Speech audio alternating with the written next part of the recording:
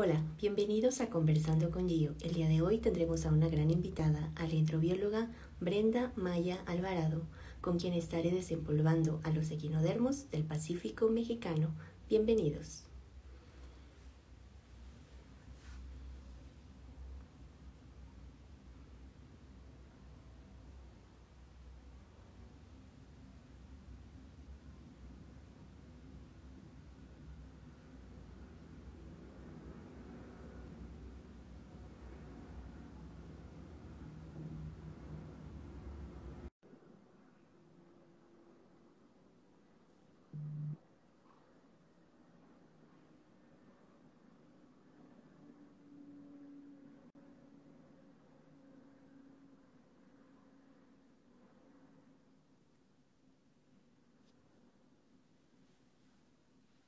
Hola.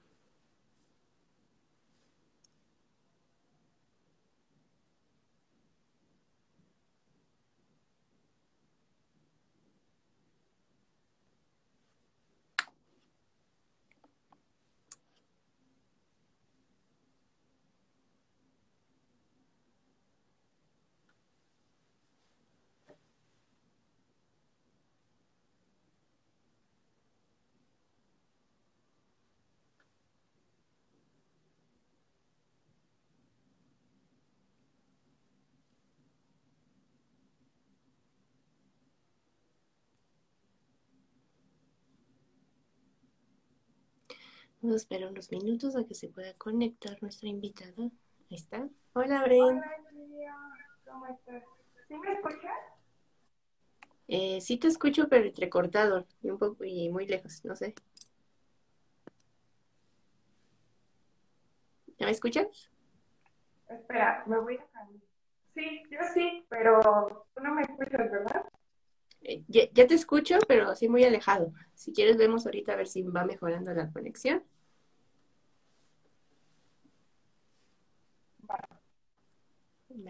Bueno, pues un gusto tenerte esta tarde aquí con todos nosotros. Y en lo que se va. te escucho toda.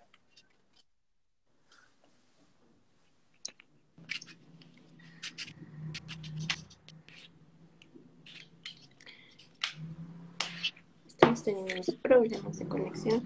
¿Ya me escuchas bien, Bren?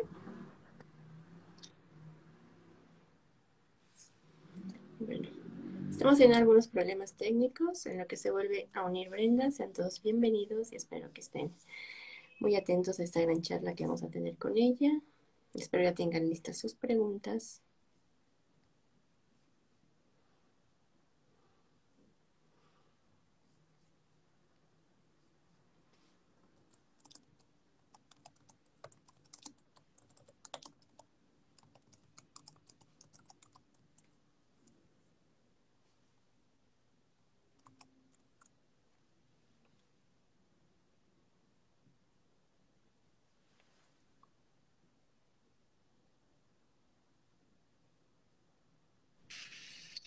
Hola, Gio.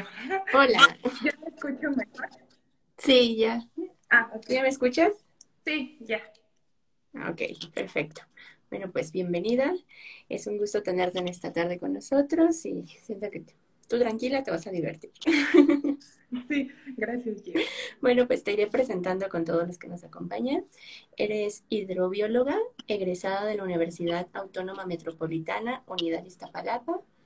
Estudia, actualmente eres estudiante del programa de maestría en Ciencias de Biosistemática y Manejo de Recursos Naturales y Agrícolas del Centro Universitario de Ciencias Biológicas y Agropecuarias en la Universidad de Guadalajara, México en donde te encuentras desarrollando tu tesis que es titulada Variación espacial de los equinodermos someros del Pacífico mexicano, análisis de la diversidad, rareza de especies y variables ambientales.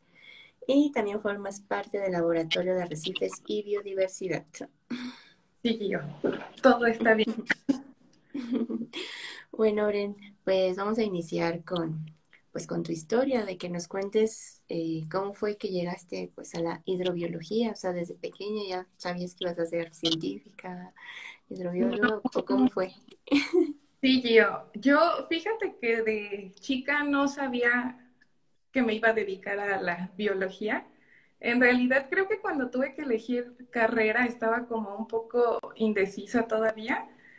Eh, pero eso sí, siempre me gustó leer, ¿no? Mis papás me inculcaron mucho el hábito de la lectura y me acuerdo que cuando tenían dinerillo me llevaban a alguna librería a elegir un libro y su motivación era de que cuando termines de leer ese te compramos otro, ¿no? Y también mi papá llevaba de estas infografías grandotas a la casa y, y, me acuerdo que una vez llevó una infografía que justo se llamaba La Biodiversidad de México y era un mapa de la República Mexicana y tenía ahí la flora y fauna de, pues de México, ¿no? Entonces todas estas infografías él las enmarcaba y las ponía en el estudio de la casa. Entonces yo me la pasaba como viéndolas y porque me llamaban mucho la atención, ¿no? Además tengo un primo que es médico y él tenía estas enciclopedias de niños eh, sobre medicina. Tengo otra tía que es bióloga que cuando se iba de viaje nos traía postales o, o cuadros, ¿no? De los lugares que visitaba. Y pues uno de niña fantasea que está en esos lugares, ¿no? cuando las ve. Y también me acuerdo que, bueno, tengo otra tía que es geógrafa, entonces en realidad creo que crecí con la influencia de muchas personas en diferentes áreas y también pues de los libros. Entonces yo cuando tuve que elegir una carrera me gustaban muchas cosas y muchas cosas diferentes, entonces me costó como un poco de trabajo, pero siempre me había inclinado mucho hacia la parte de las ciencias naturales porque también de niña, mis amigas y yo en la primaria me acuerdo que recolectábamos a las hormigas del jardín de juegos de la escuela y las poníamos en nuestros estuches, que eran estas cajas de plástico, y ahí les poníamos hojas y simulábamos que eran sus casitas. Pero sí, pobres hormigas.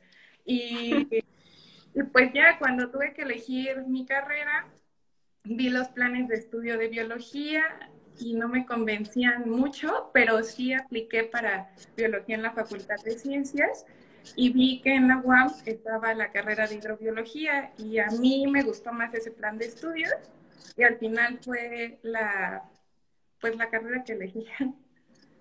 Hidrobiología, mira, qué difícil decisión, ¿no? Porque como dices, te gustaban pues tantas cosas que no sabías y luego en esa edad que a veces no tenemos muy claro, ¿no? ¿A qué nos vamos a dedicar?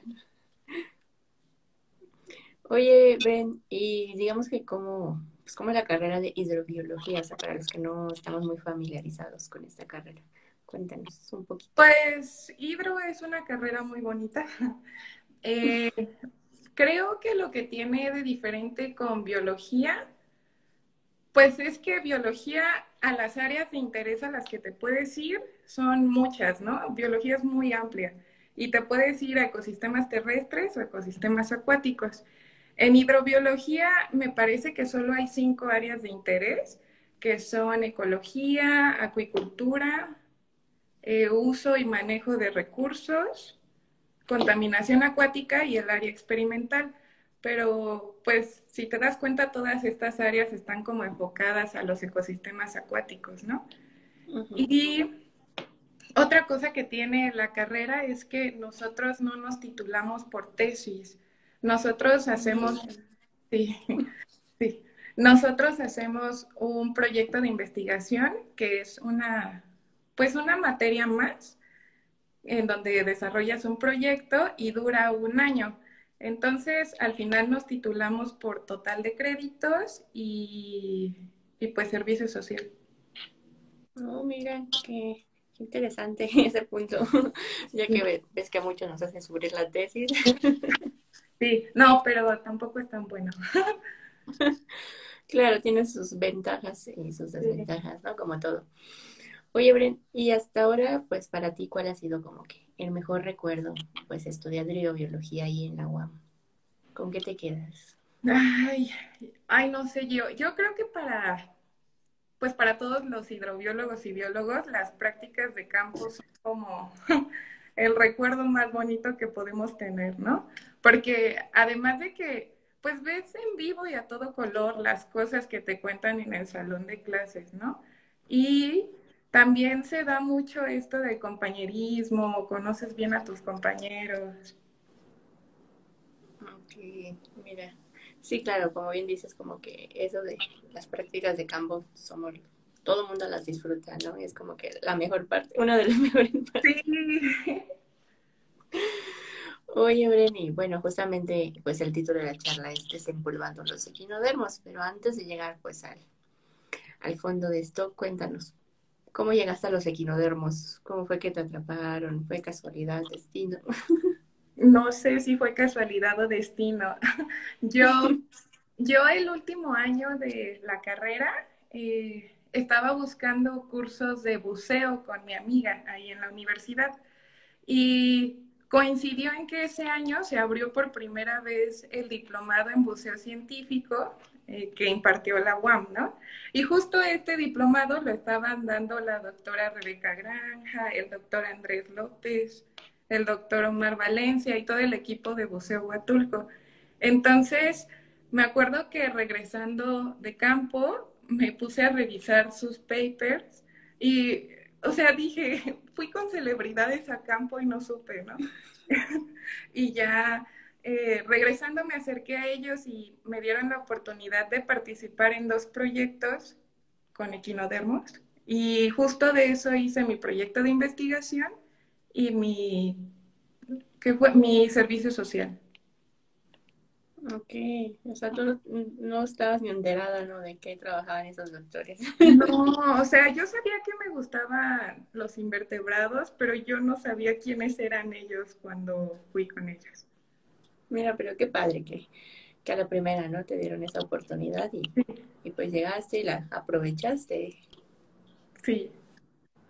Oye, ¿y de qué trató justamente este proyecto que, que desarrollaste? El que hice como proyecto de investigación fue, revisamos los hábitos alimenticios de una especie de pepino de mar en un arrecife del el Pacífico mexicano, en Oaxaca. Ok, mira, entonces te atraparon ahí por los equinodermos. ¿no? Sí. Oye, y si no hubieran sido equinodermos, tendrías a otro grupo, digamos, en la, en la mira, así como Sí, yo, yo me acuerdo que cuando llegué con ellos les dije que me gustaban las esponjas. Siempre me han gustado y me llaman la atención. Es un gusto que tengo ahí que ojalá pueda hacerlo algún día. Mm, ya verás que sí. Qué bueno. Bueno, y pues ya posteriormente, pues a tu titulación ya como hidrobióloga, ¿cómo fue esa decisión de seguir con la maestría? Ay, pues mi proceso a la maestría fue un poco atropellado, no fue directo. Eh, yo tenía planeado irme a estudiar al extranjero, pero al final no se dieron las cosas. Y pues ese año, o sea, yo terminé entrando un año después de haberme titulado a la maestría, pero ese año, la verdad es que fue un año de muchas enseñanzas, tanto personal como académicamente. Me sirvió muchísimo y me permitió entender muchas cosas. Fue el año en el que pude ir a mi primer congreso, que fue el cuarto Congreso Latinoamericano. Me pude preparar mejor, ¿no? Sí, y también fui, ah, pues fui a un curso de quinodermos en CISAL. Eh, pude escribir el paper de los hábitos alimenticios y también iniciar mi proceso de ingreso a la maestría. o sea, fue un año que aprovechaste, o sea, no te quedaste, digamos, sin hacer nada, sino que sacaste todos esos pendientes y pues aprovechaste todas esas oportunidades, ¿no? Como para seguir aprendiendo y pues dedicarte, ¿no? A lo que te gusta. Y pues finalmente, pues ahora ya estás estudiando tu maestría en Guadalajara y justamente estás haciendo un megaproyecto que creo que a todos los que nos dedicamos aquí no Equinodermos y pues específicamente los que trabajan en el Pacífico van a estar muy interesados cuando salga pues ese proyecto en el que estás, porque o sea, desempolvar todos esos, esa bibliografía, todo eso de sobre equinodermos es un súper megaproyecto y, y mucho trabajo, ¿no? Así que cuéntanos, ¿de qué va? Pues mi trabajo, lo que estamos haciendo ahorita es la construcción de una base de datos de todos los equinodermos del Pacífico mexicano con los registros basados en literatura de las cinco clases de equinodermos que se encuentran ahí. Y estamos revisando literatura desde 1800 hasta el 2021, ¿no? Y lo que queremos hacer es hacer el listado actualizado con sus nombres válidos y las sinonimias que se han utilizado de ese lado, para ya tener una base de pues lo que hay ahí, ¿no? Y eh, pues lo que voy a hacer ya con esa base de datos va a ser un, queremos hacer un análisis de diversidad con, pues con todas las, bueno, no solo con las especies someras. Ok, bueno, lo cuentas así, suena muy sencillo, pero tan solo de conseguir toda esa bibliografía que a veces pues no es tan fácil, o sea, sí requiere su tiempo y aparte de eso, pues revisarla, ¿no? O sea, leer un montón y pues, bueno, fuera que la mayoría estuviera en español e inglés, pero luego hay otra que está, creo que está en ruso o idiomas que no sabe ni qué es. Ruso, alemán, sí, no, pero, o sea no me ha costado tanto trabajo conseguir la literatura porque la verdad, la verdad es que tengo muchas personas a las que agradecerles que, que pues me han ayudado con, con todo esto de conseguir la literatura. Eh, dentro de ellas el doctor Francisco Solís, Alicia Durán, que me abrieron las puertas para revisar allá la literatura que tenían en la UNAM. También la doctora Becky, me ha dado muchísima. Y otra es de buscar, ¿no? Pero sí, no ha sido tan complicado porque el Internet es fabuloso y ya hay muchas cosas ahí. Sí, es como la gran ventaja, ¿no? Que, ahorita ya podemos acceder a, muchos recursos gracias a, las tecnologías. Oye, Bren, ¿y hasta ahora para ti qué ha sido lo más difícil que te ha tocado enfrentar como hidrobiólogo? O como mujer que se dedica a la ciencia? Lo más difícil, un reto. Pues creo que todo en la vida es un reto, pero una de las cosas yo creo que más con la que más topes me he dado es contener orden, orden mental y orden en mis cosas, o sea, porque para esto se necesita muchísimo y por mi manera de ser soy un poco dispersa y sí, me sigue costando trabajo, pero es algo que hay que tener. Sí, ya no cual pues estás trabajando, ¿no? Siempre. Sí. Mira, por aquí te preguntan, eh, Alo Connie dice que si tiene una importancia el estudio de los equinodermos en nuestro país. Ah, sí, es mi tía. y sí, sí tienen importancia los equinodermos, porque como sabemos, son animales con muchas especies clave en los ecosistemas marinos, porque ellos son ingenieros ahí, ¿no? Ellos, mm, ellos tienen un papel como depredadores y presas de otros taxones, además tienen influencia en, en la topografía de los fondos marinos por sus actividades de alimentación. Entonces sí, son muy importantes. Así es. Oye, y bueno, ya nos platicaste, ¿no? De pues estos retos que como bien dices, en la vida todo pues es un reto, más cuando pues está estudiando y a veces en la ciencia es un poco más difícil, ¿sabes? Por los financiamientos o, por ejemplo, ahorita la pandemia, ¿no? De que pues ha limitado un poco, no sé, los que tienen que salir a campo y demás. Pero a pesar de todo esto, eh, ¿tú volverías a estudiar hidrobiología? ¿Te volverías a dedicar a la ciencia? Sí, yo. O sea, creo que es algo que volvería a estudiar mil y un vidas más, ¿no? Y, y, creo que me daría para más porque hay muchas cosas todavía por descubrir y a mí me, me gusta mucho en lo que estoy ahorita. Ok. Bueno, y como ya nos platicaste, pues te toca revisar pues las cinco clases de, de quinodermos que existen. ¿Y para ti hay alguna que, pues, que más te guste? Me a que... Eh... Pues, tengo que ser tu favorita, digamos, de estas cinco clases, que, Que si te dieran a escoger una sola clase para estudiar los equinodemos, ¿cuál elegirías? Yo creo que me iría por los papeles ecológicos que sabemos que tienen, ahorita por los erizos. Pero todas me gustan. Sí, es que es muy difícil. O sea, los que nos dedicamos a ese estudio, pues sí, es difícil a veces decidir. Y la que menos te gusta, que digas, mm, mm, me gusta, pero no me atrevería como que adentrarme a estudiarlo así mucho.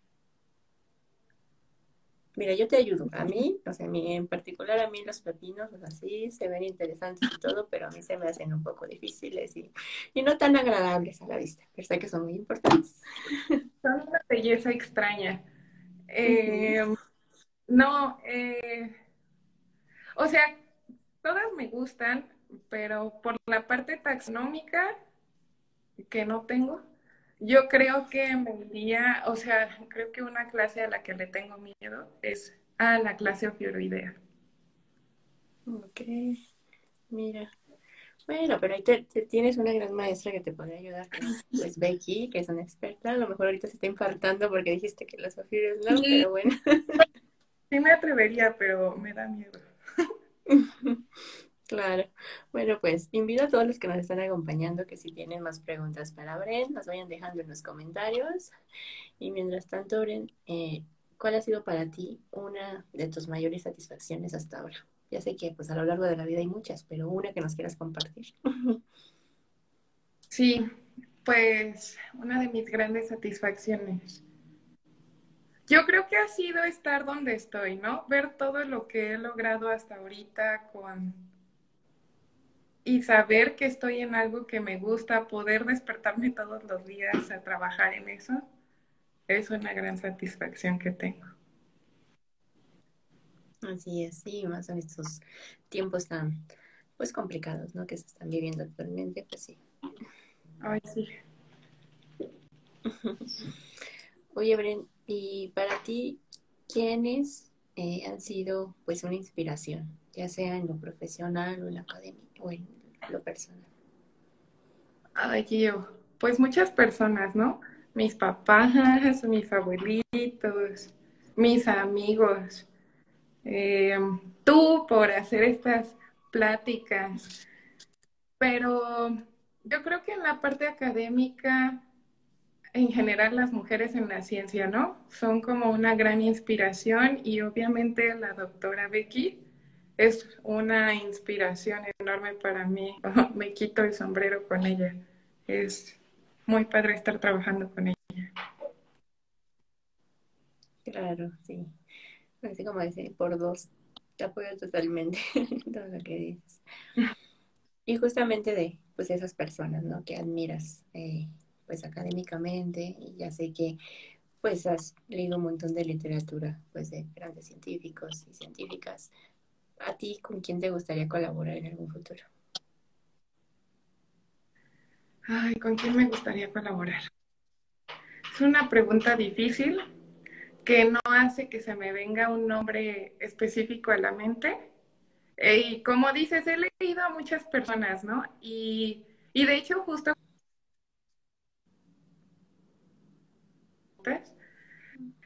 pero eh, yo creo que no podría darte un nombre, pero en general el grupo de equinodermólogos latinoamericanos es muy bonito y con quien se pudiera dar la oportunidad estaría muy feliz de participar. Perfecto. Tú estás dispuesta, digamos, a colaborar con la oportunidad que se presente, ¿no? Sí.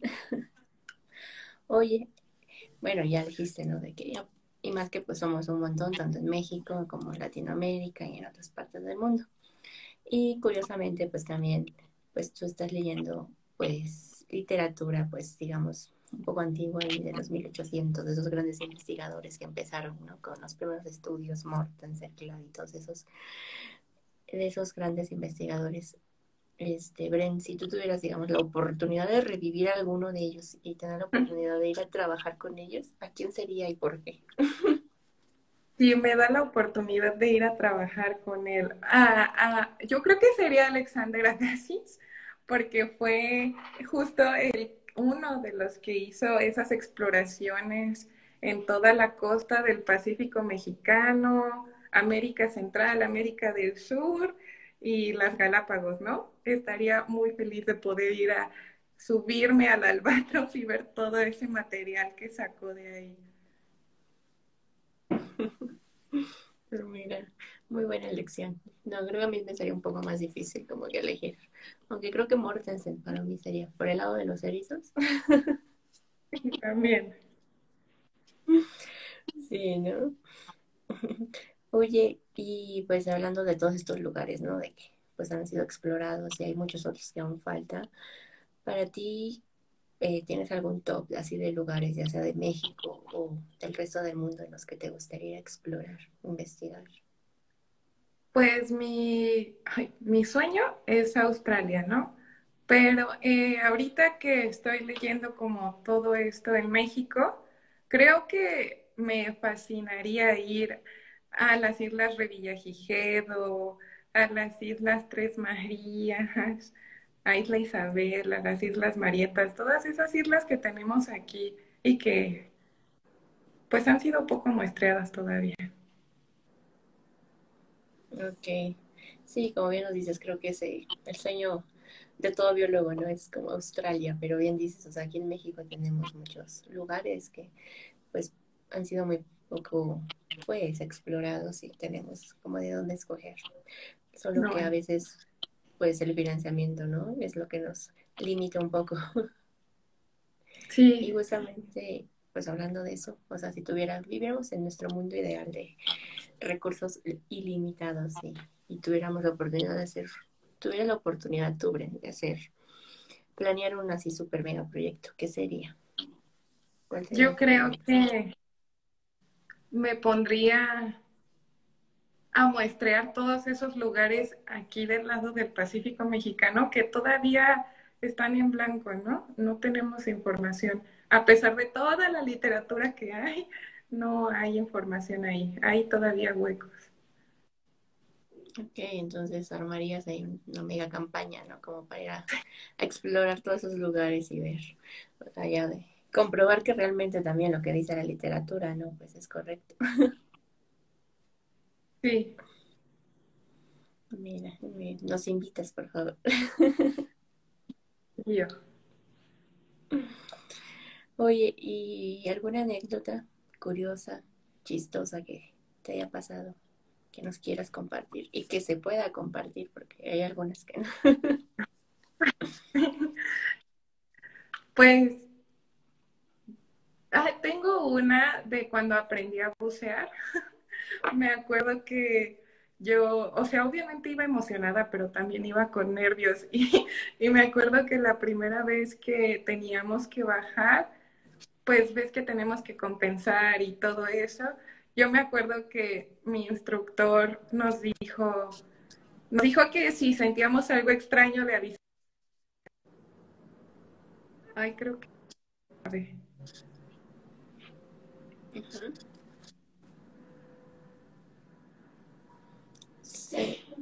Se está cortando un poco, Bren. No sé si me escucha. Yo, ¿me escucha? Creo que me trabé.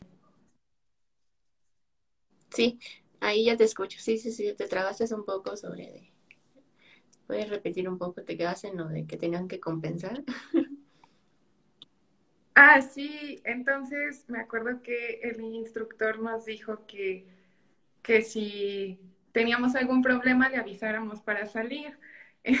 Entonces yo me acuerdo que empezamos a bajar y yo sentía que ya no podía compensar, o sea, sentía que se me tapaban horribles los oídos y yo ya estaba así de ya, por favor hay que salir. Y me acuerdo que me hizo una seña así de voltea para que veas dónde estás, ¿no? Y yo volteé y llevábamos, yo no te miento, como 10 centímetros abajo y yo sentía que ya no podía. Y sí, no pude bajar esa vez. Te traicionaron los nervios. Creo que todos hemos tenido un, tipo de anécdota cuando es la primera vez que buceamos. que muchas veces pues miedo, nervios, emoción, nos pasan muchas cosas. Pero ya después ya, ¿todo bien? Ya, sí, ya después pude bajar bien y fui feliz, pero esa primera vez no pude. Oye, y hablando de buceo, ¿qué lugar te gustaría ir pues a explorar, ir a bucear? Ay, ¿a qué lugar? Oh, la Gran Barrera de Coral.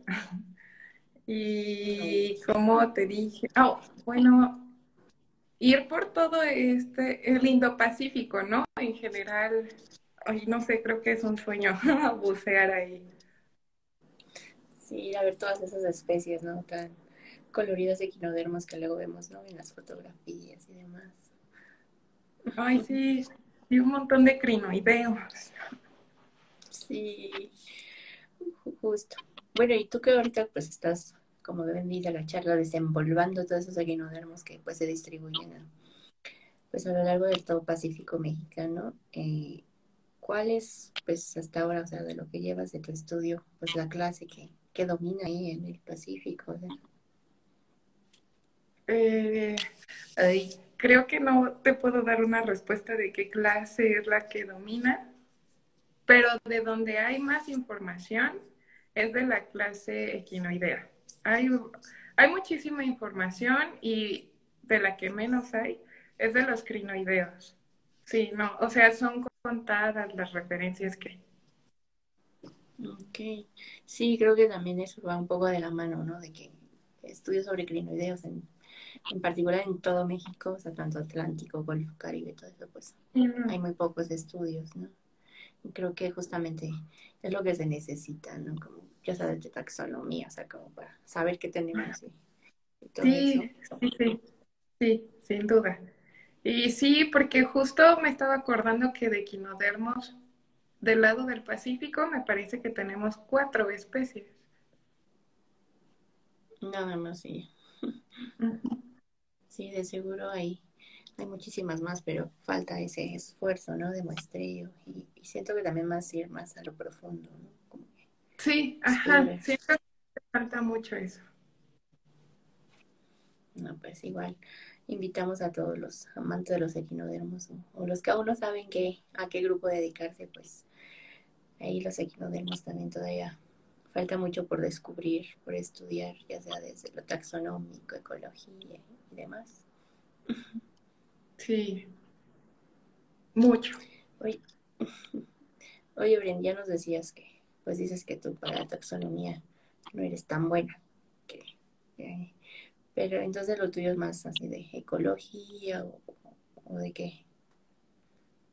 Sí, taxonomía no, no es que no sea tan buena, nunca me he metido como tal yo. O sea, mm, siento que para ser taxónomos hay que tener madera de taxónomos y creo que a mí me hace falta.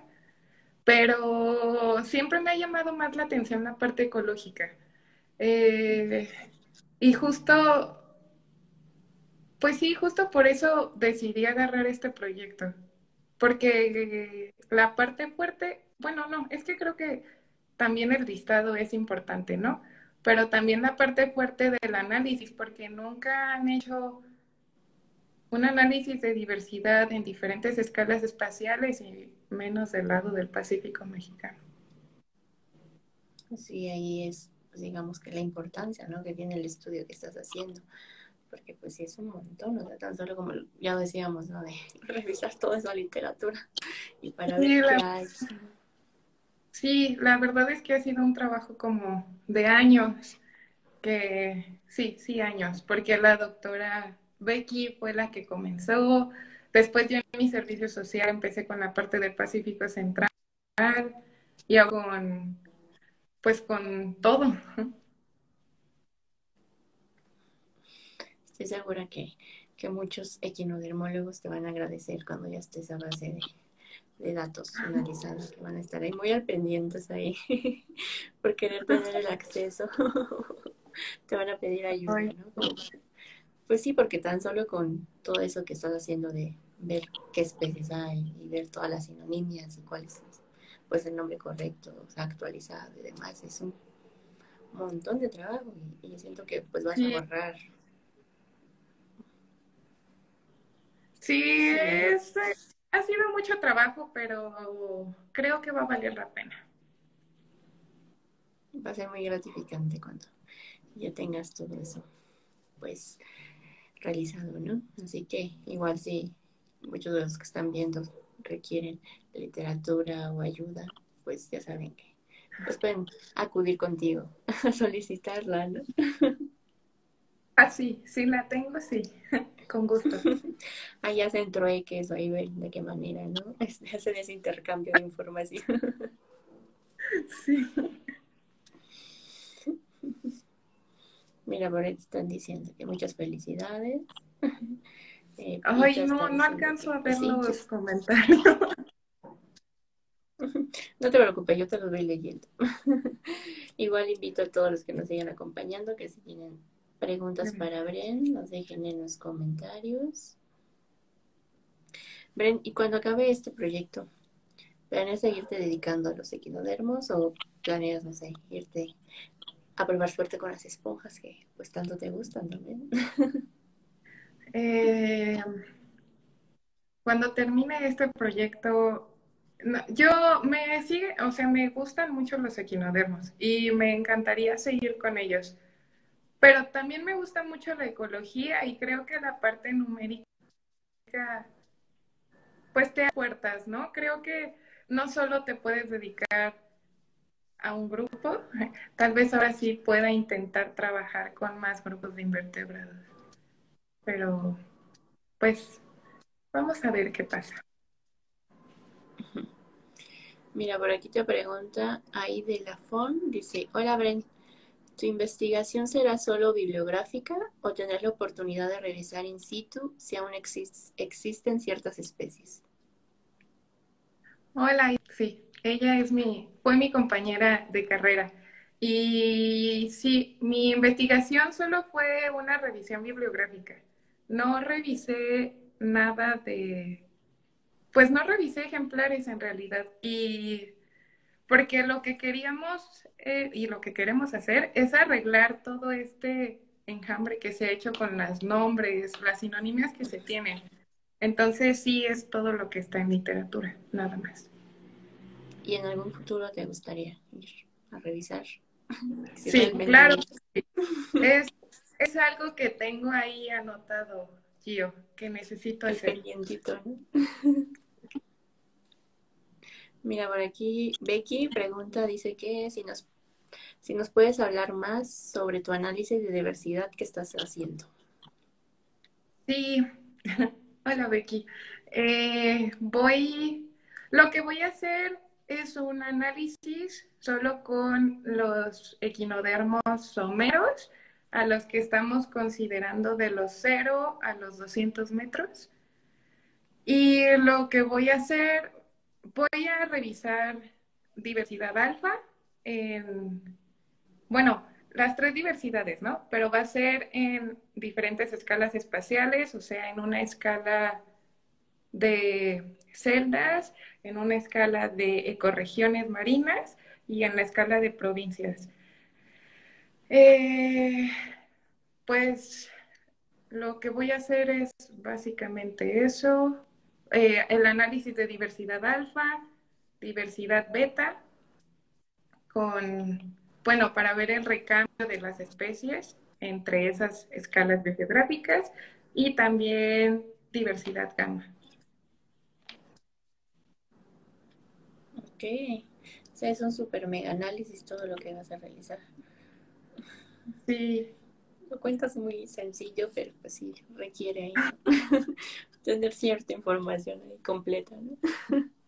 Mucha información, sí, pero creo que, bueno, porque además también es que esta es otra parte, ¿no? Además de hacer todo el listado de especies para mi proyecto, necesito tener todas las coordenadas geográficas verificadas, ver que realmente entren dentro de mi área de estudio, que no caigan en tierra, porque muchas coordenadas no sé, te dicen que están, por ejemplo, no sé, off Tres Marías y están en medio del Pacífico mexicano, ¿no?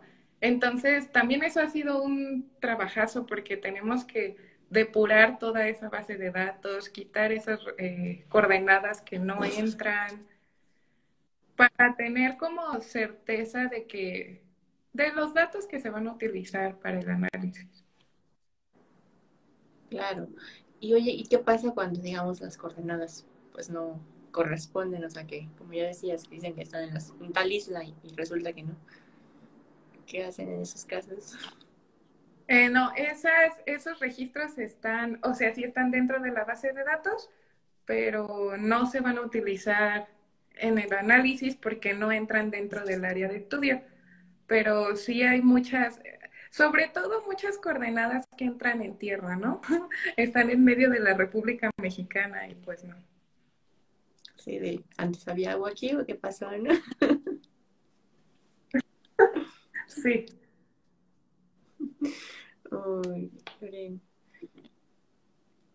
Oye, ya nos decías que pues antes estabas planeando en pues irte al extranjero, pero pues no se dieron las cosas. Eh, he de la idea de que las cosas pasan por algo, pero en algún futuro te gustaría volver a intentar irte al extranjero.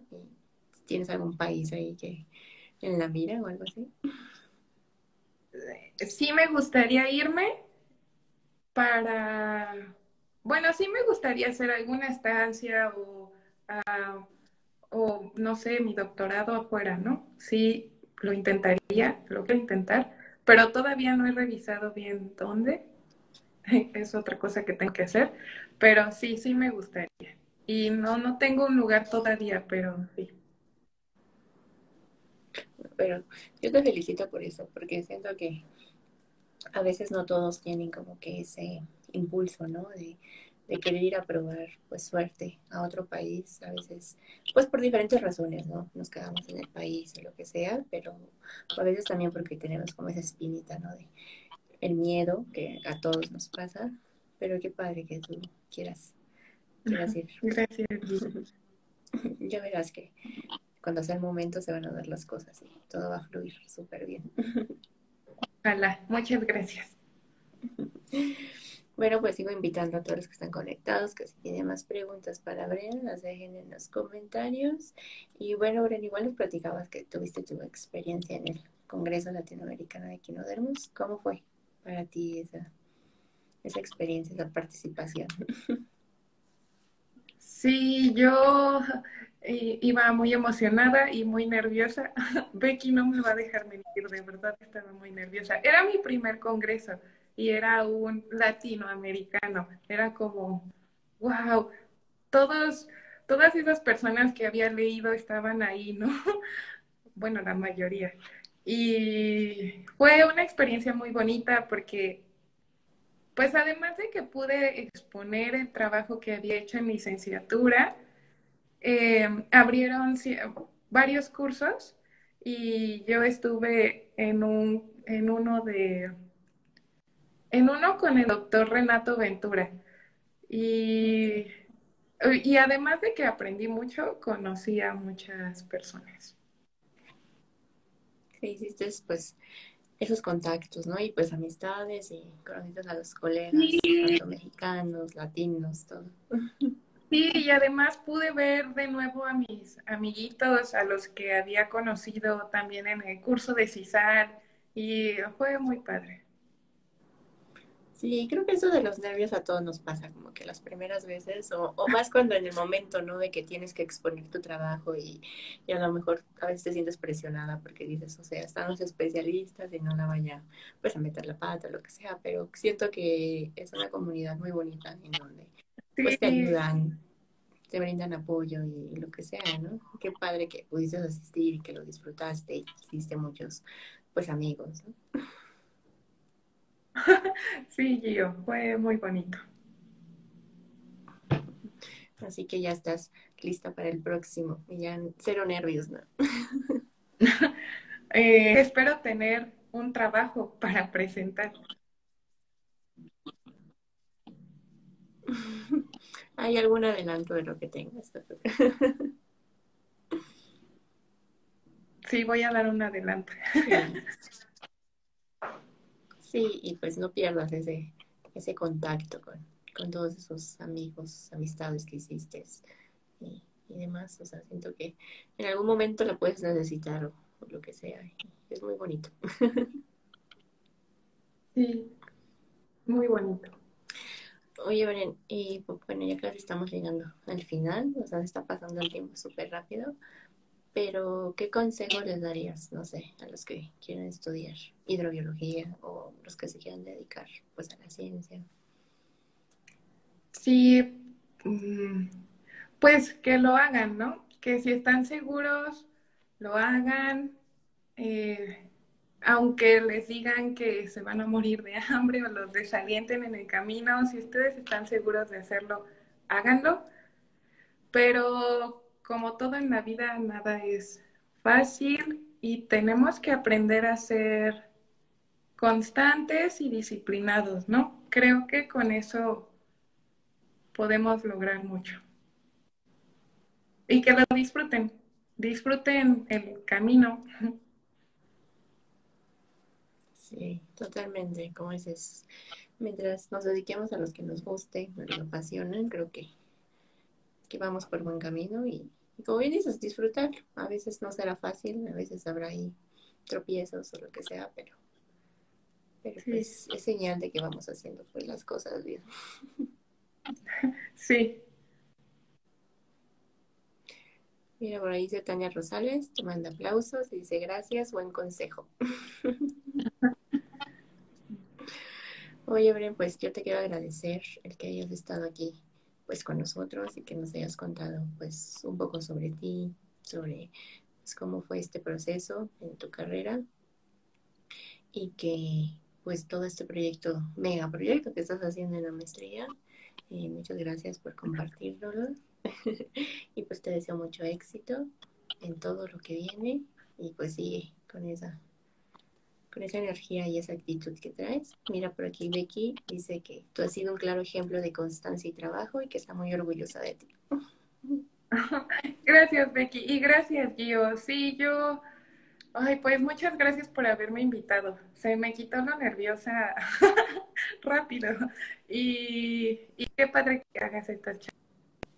La verdad, es bonito.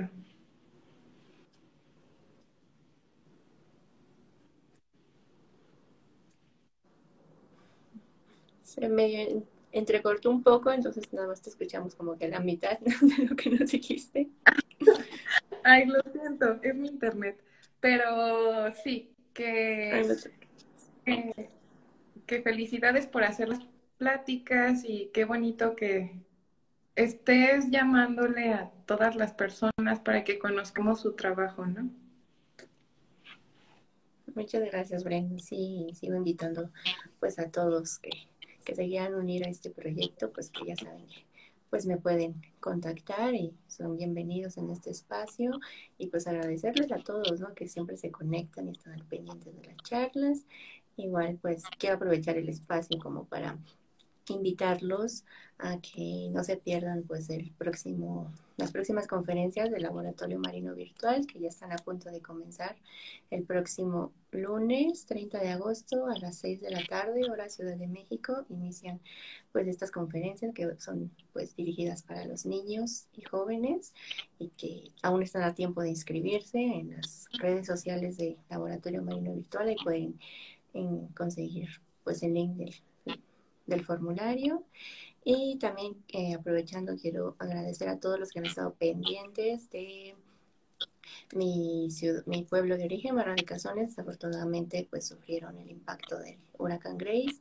Eh, muchísimas gracias a todos los que están pendientes y a los que me están brindando ayuda para poder comprar víveres y demás. Muchísimas gracias. Este, todo va a ser documentado y va a ser, este, pues ahí va a estar, puede estar muy al pendiente, pues publicando, ¿no? Sobre todo este este proceso.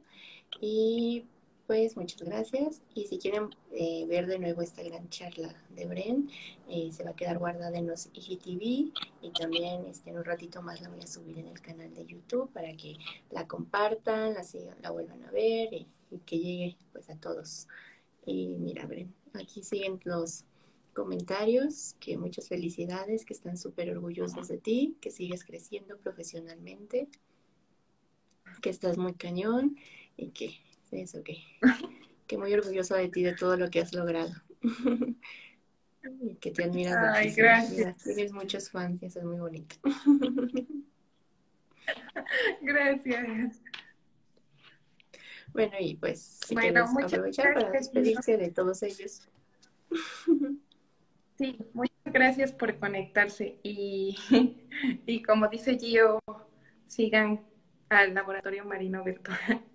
Es un proyecto muy bonito. Así es síganos a todos ahí. Hay muchas otras científicas que están sumando en este proyecto, como Bióloga Latina, Biosule y demás, así que también ellas comparten contenido muy interesante. Y pues vayan a seguirnos a todos y sigan pendientes de las charlas de Conversando con Gio, porque vienen más invitados súper eh, interesantes con charlas y proyectos muy buenos. Así que síganos y estén pendientes. Los veo a todos la próxima semana. Muchísimas gracias de nuevo, Bren. que estés muy bien y ya sabes, cualquier cosa, pues aquí estamos. gracias, Gio. Igual tú, cuídate. Nos vemos. Gracias por la invitación. A ti. Y pues muchas gracias a todos. Nos vemos la próxima. Bye. Adiós.